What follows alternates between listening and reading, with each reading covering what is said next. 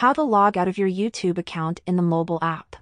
So welcome back to another tutorial guys. In this video, I'm going to show you how you can sign out of your YouTube account on Android or iPhone. So you don't have a dedicated sign out or log out button, but we have to use another method.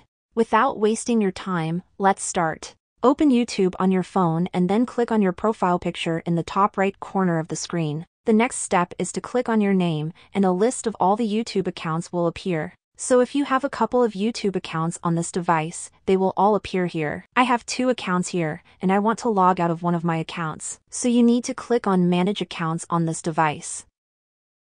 And then you need to click on Remove from this device below the account which you want to log out from. And keep in mind that it won't only log you out of the YouTube app, but it will remove the account from all of your Google apps and services on the phone. So you will have to log in again if you are using this account with another Google app so keep that in mind.